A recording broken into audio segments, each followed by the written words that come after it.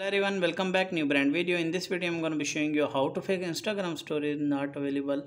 First of all open your Instagram. You as can see Instagram story is not showing. So how to fake? First of all go back here home screen and open your iPhone and iPad setting then click on Wi-Fi and make sure that connect strong Wi-Fi connection. Turn off Wi-Fi toggle at least the 30 second you have turn it on and after that go back.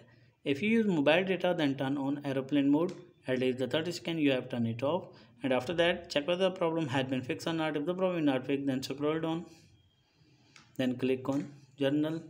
Then click on iphone storage.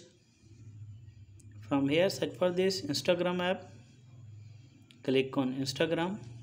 And make sure that click on offload. After a few minutes you have again installed instagram and after that check whether the problem had been fixed or not. If the problem is not fixed then go back go back and scroll down then click on transfer reset iphone then click on reset and click on reset network setting and enter your passcode. And after reset network setting check whether the problem has been fixed or not. If the problem is not fixed then go back go for the last method open your play store and app store and from here search for this instagram app